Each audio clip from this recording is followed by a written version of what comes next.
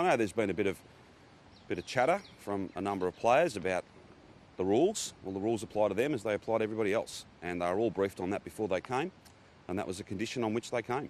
So when, there's no special treatment here. People are being treated because the virus doesn't doesn't treat you specially, so neither do we. What do you make of Novak Djokovic's list of demands, including going to private housing?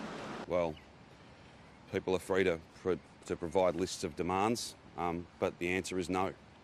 And that was very clearly put. That was very clearly laid out beforehand. So the notion that there's been any change, the notion that people weren't briefed, I think that argument really has no integrity whatsoever. Uh, and don't just take my word for it. You've got other players who I think on social media and in other forums have made it very clear that they were clear on the rules.